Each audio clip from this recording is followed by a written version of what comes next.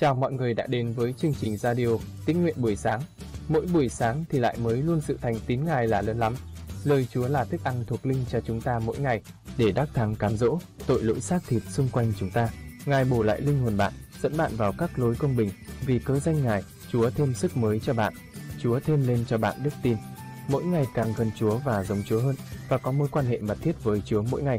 Chúa yêu bạn rất nhiều. Thi Thiên 17 Đức Giê-hô-va ơi, xin hãy nghe sự công chính, để ý về tiếng kêu của tôi.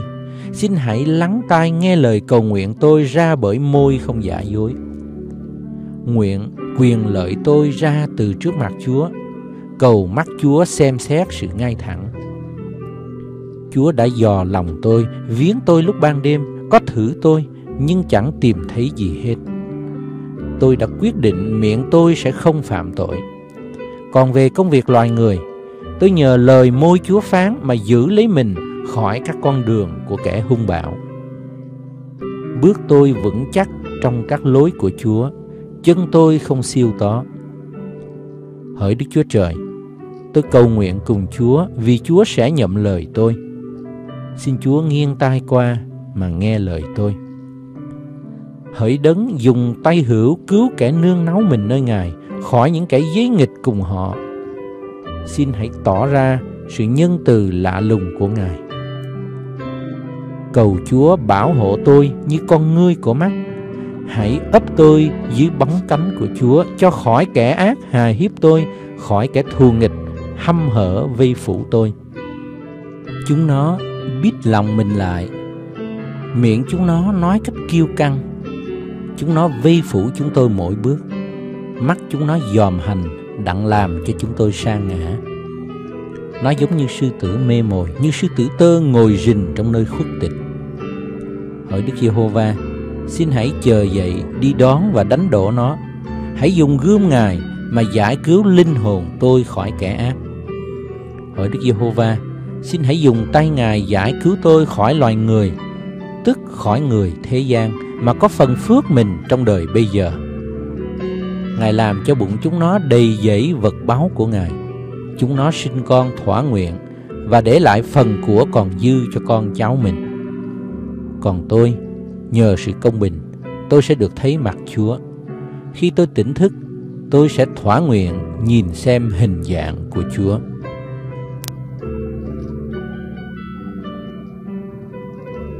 Ngày thứ nhất trong tuần lễ, khi mờ sáng, các người đàn bà ấy lấy thuốc thơm đã sửa soạn đem đến mồ ngài.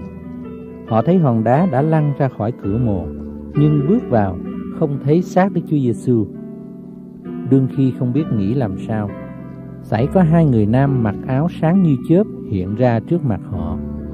Họ đứng thất kinh úp mặt xuống đất thì hai người ấy nói rằng: Sao các ngươi tìm người sống trong vòng kẻ chết? Ngài không ở đây đâu, song Ngài đã sống lại. Hãy nhớ khi Ngài còn ở xứ Galilee phán cùng các ngươi thể nào. Ngài đã phán rằng, con người phải bị nộp trong tay kẻ có tội, phải đóng đinh trên cây thập tự, và ngày thứ ba phải sống lại. Họ bèn nhớ lại những lời Đức Chúa Giêsu đã phán. Họ ở mồ trở về, rao truyền mọi sự ấy cho 11 sứ đồ và những người khác. Ấy là Marie Madeleine, Janne, và Mary mẹ của Gia Cơ cùng các đàn bà khác đi với họ đã rao truyền như vậy cho các sứ đồ. Song các sứ đồ không tin cho lời ấy như là hư không. Dầu vậy, Phi-e-rơ đứng dậy, chạy đến mồ, cúi xuống mà dòm, chỉ thấy vải liệm ở trên đất. Đoạn về nhà, lạ lùng cho việc đã xảy ra. Cũng trong ngày ấy, có hai môn đồ đi đến làng kia gọi là Emmaus cách thành Jerusalem 60 hectare. Họ đàm luận về những sự đã xảy ra. Đang khi nói và cãi lẽ nhau, chính Đức Chúa Giêsu đến gần cùng đi đường với họ. Nhưng mắt hai người ấy bị che khuất không nhìn biết Ngài được. Ngài phán cùng họ rằng: Các ngươi đương đi đường, nói chuyện gì cùng nhau vậy? Họ dừng lại buồn bực lắm. Một trong hai người tên là Cleopa trả lời rằng Có phải chỉ ngươi là khách lạ ở thành Jerusalem không hay việc đã xảy đến tại đó cách mấy bữa rày sao? Ngài hỏi rằng, việc gì vậy? Họ trả lời rằng, ấy là việc đã xảy ra cho giêsu Nazareth, một đấng tiên tri có quyền phép trong việc làm và trong lời nói trước mặt Đức Chúa Trời và cả chúng dân. Làm sao mà các thầy tế lễ cả cùng các quan đề hình ta đã nộp Ngài để xử tử và đã đóng đinh trên cây thập tự. Chúng tôi trông mong Ngài sẽ cứu lấy dân Israel. Dầu thế ấy, việc xảy ra đã được ba ngày rồi. Thật có mấy người đàn bà trong vòng chúng tôi đã làm cho chúng tôi lấy làm lạ lắm. Khi mờ sáng họ đến mồ, không thấy xác Ngài, thì về báo rằng có thiên sứ hiện đến nói Ngài đương sống. Có mấy người trong vòng chúng tôi cũng đi thăm mồ, thấy mọi điều y như lời họ nói, còn Ngài thì không thấy. Đức Chúa Giêsu bèn phán rằng: Hỡi những kẻ dại dột, có lòng chậm tin lời các đấng tiên tri nói, há chẳng phải đấng Christ chịu thương khó thể ấy mới được vào sự vinh hiển mình sao? Đoạn, Ngài bắt đầu từ Môi-se, rồi kế đến mọi đấng tiên tri mà cắt nghĩa cho hai người đó những lời chỉ về Ngài trong cả Kinh Thánh. Khi hai người đi gần đến làng mình định đi, thì Đức Chúa Giêsu dường như muốn đi xa hơn nữa. Nhưng họ ép Ngài dừng lại mà thưa rằng: "Xin ở lại với chúng tôi, vì trời đã xế chiều hầu tối." Vậy Ngài vào ở lại cùng họ. Đương khi Ngài ngồi ăn cùng hai người, thì lấy bánh chúc tạ đoạn bẻ ra cho họ. Mắt họ bèn mở ra mà nhìn biết Ngài. Song Ngài thoạt biến đi không thấy. Hai người nói cùng nhau rằng: khi nãy đi đường, Ngài nói cùng chúng ta và các nghĩa kinh thánh, lòng chúng ta há chẳng nóng nảy sao? Nỗi giờ đó, họ liền đứng dậy trở về thành Jerusalem, gặp 11 sứ đồ cùng các môn đồ khác đương nhóm lại, nói với họ rằng, Chúa thật đã sống lại và hiện ra với Simon. Rồi hai người thuật lại sự đã xảy đến khi đi đường và nhìn biết Ngài lúc bẻ bánh ra là thế nào. Môn đồ đương nói với nhau như vậy Chính Đức Chúa Giêsu hiện ra giữa đó mà phán rằng, Bình an cho các ngươi. Nhưng môn đồ đều sửng sốt rụng rời tưởng thấy thần. Ngài phán rằng, Sao các ngươi bối rối và sao trong lòng các ngươi nghi làm vậy? Hãy xem tay chân ta Thật chính ta, Hãy rờ đến ta và hãy xem. Thần thì không có thịt xương mà các ngươi thấy ta có. Đương phán vậy, Ngài giơ tay và chân ra cho xem. Nhưng vì cớ môn đồ vui mừng nên chưa tin chắc và lấy làm lạ thì Ngài phán rằng, Ở đây các ngươi có gì ăn không? Môn đồ dâng cho Ngài một miếng cá nướng. Ngài nhận lấy mà ăn trước mặt môn đồ. Đoạn Ngài phán rằng, Ấy đó là điều mà khi ta còn ở với các ngươi, Ta bảo các ngươi rằng, Mọi sự đã chép về ta trong luật pháp môi xe Các sách tiên tri cùng các thi thiên phải được ứng nghiệm. Bây giờ Ngài mở trí cho môn đồ được hiểu kinh thánh. Ngài phán, có lời chép rằng, Đấng Christ phải chịu đau đớn giường ấy, ngày thứ ba sẽ từ kẻ chết sống lại, và người ta sẽ nhân danh Ngài mà rao giảng cho dân các nước sự ăn năn để được tha tội, bắt đầu từ thành Jerusalem. Các ngươi làm chứng về mọi việc đó. Ta đi sẽ ban cho các ngươi điều cha ta đã hứa. Còn về phần các ngươi, hãy đợi trong thành cho đến khi được mặc lấy quyền phép từ trên cao. Kế đó, Ngài đem môn đồ đi đến nơi xung quanh làng Bethany, giơ tay lên mà ban phước cho họ. Đương khi ban phước, Ngài lìa môn đồ mà được đem lên trời. Môn đồ thờ lại Ngài, rồi trở về thành Jerusalem mừng rỡ lắm. Môn đồ cứ ở trong đền thờ luôn, ngợi khen Đức Chúa Trời.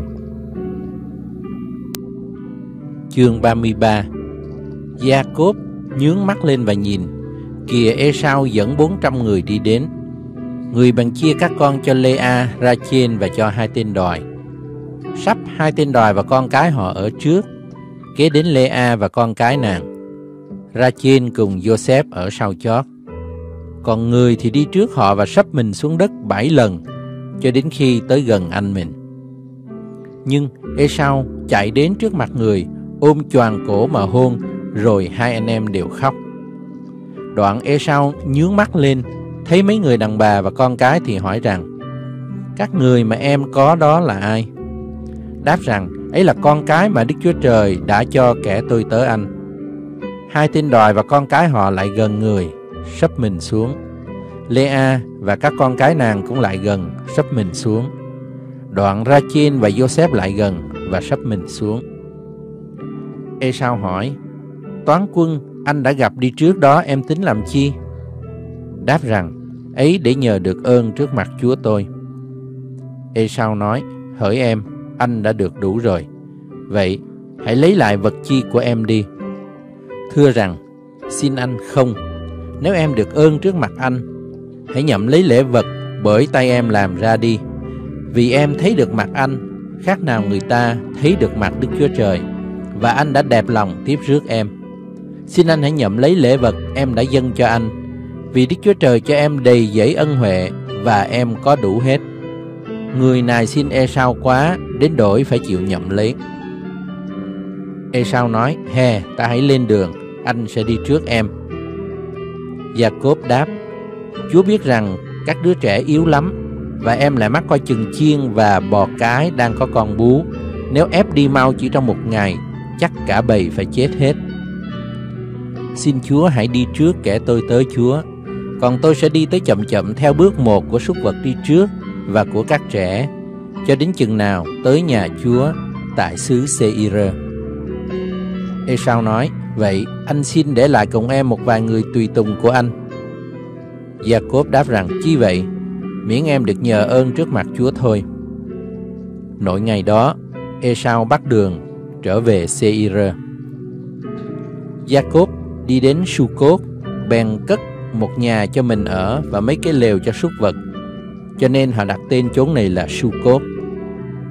Jacob ở xứ Phadan Aram đến thành Sichem thuộc về xứ Canaan được bình an, người đóng trại trước thành. Bèn mua miếng đất chỗ người đóng trại giá 100 miếng bạc của con Hemo cha Sichem. Nơi đó người lập một bàn thờ đặt tên là En En Ohe Israel. Chương 34 Nàng Dina, con gái của Lea, sinh cho Jacob đi ra thăm bọn con gái của xứ đó. Shichem con trai Hemo người Hevit, hoàng tử xứ đó, thấy nàng thì cướp đi, nằm với nàng và làm điếm nhục nàng. Tâm hồn chàng vấn vít cùng Dina, con gái Jacob, thương mến con gái tơ đó, lấy lời ngon ngọt nói cùng nàng.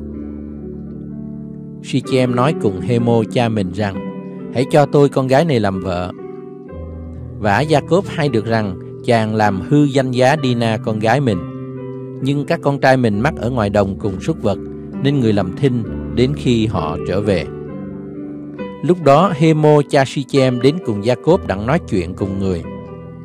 Các con trai Jacob ở ngoài đồng trở về, vừa hay được việc ấy bèn nổi nóng và giận lắm vì việc ô danh mà Sichem đã xui cho họ Israel nằm cùng con gái của Jacob là việc chẳng bao giờ nên làm.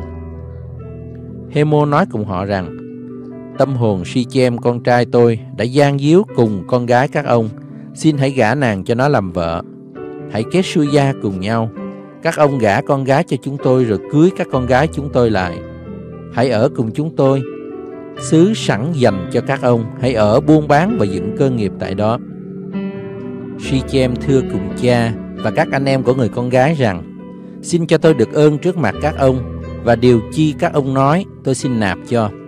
Xin hãy đòi một lễ cưới cho lớn, xích nghi cho cao Tôi xin nạp theo y lời các ông nói. Nhưng hãy gả con gái đó cho tôi làm vợ. Các con trai gia cốt đáp lại cùng Sichem và Hemo cha chàng Cùng dùng mưu nói chuyện với họ Vì Sichem đã làm mất danh giá của Dina em gái mình. Các người ấy nói rằng Gả em gái chúng tôi cho ai chẳng chịu phép cắt bì. Ấy là một việc chúng tôi làm không được, Vì sẽ là một nỗi nhút nha cho chúng tôi vậy. Chúng tôi sẽ nhậm lời các ông được. Là khi nào các ông trở nên giống như chúng tôi, Tức là mọi người nam chịu phép cắt bì. Vậy, chúng tôi sẽ gả con gái chúng tôi cho các ông Và sẽ cưới con gái các ông lại. Đoạn, ta sẽ ở chung nhau, Thành ra một dân mà thôi. Còn nếu không khứng nghe theo lời và không chịu phép cắt bì thì chúng tôi bắt con gái lại và đi ở nơi khác. Bao nhiêu lời họ nói làm cho đẹp dạ Hemo và Sichem con trai người. Chàng trẻ tuổi đó không ngần ngại các việc họ đã định vì con gái của Jacob đẹp lòng chàng. Và chàng đây là một người quý trọng hơn mọi người trong nhà cha mình. Vậy, Hemo và Sichem, con trai người, đi đến cửa thành mình, nói cùng dân trong thành như vậy. Các người đó ăn ở hòa thuận giữa vòng chúng ta. Vậy, cho họ ở trong xứ đặng buôn bán. Này, xứ cũng rộng cho họ ở. Chúng ta sẽ cưới con gái họ làm vợ và gả các con gái chúng ta lại. Nhưng họ bằng lòng ở cùng chúng ta đặng thành một dân, miễn khi nào các người nam trong bọn mình phải chịu phép cắt bì, chính như mọi người nam của họ vậy. Thế thì, há rằng các súc vật, các tài sản và các bầy của họ sẽ chẳng thuộc về chúng ta sao? Thôi, ta hãy nhận theo họ điều đó đi, để họ ở chung cùng chúng ta. Mọi người đi ra cửa thành mình đều nghe theo lời Hemo và Sichem, con trai người, và hết thảy người nam đi ra cửa thành mình đều chịu phép cắt bì. Đến ngày thứ ba, khi mọi người đang đau đớn, thì hai con trai Jacob là Simeon và Levi, anh nàng Dina, cầm mỗi người một thanh gươm, thừa khi ai nấy yên ổn xông vào thành giết hết thảy người nam. Hai người lại lấy gươm giết Hemo và Sichem con trai người, đem nàng Dina ra khỏi nhà Sichem rồi đi. Vì cớ họ làm mất danh giá em gái mình, nên các con trai gia cốp xông vào những xác chết và phá cướp thành. Bắt các bầy chiên, bò, lừa cùng vật chi trong thành và ngoài đồng. Cướp đem đi hết tài vật, các con trẻ và đàn bà, cùng mọi vật chi ở trong nhà vậy. Jacob bèn nói cùng Simeon và Levi rằng, Bay xưa cho tao bối rối, Làm cho dân xứ này là người Canaan và người Pheresit oán ghét tao vậy Tao đây chỉ có ít người, Nếu họ hiệp lại đánh tao, Thì chắc tao và nội nhà đều bị tàn hại Đáp rằng, Chúng tôi nỡ chịu người ta đãi em gái chúng tôi như con đỉ sao?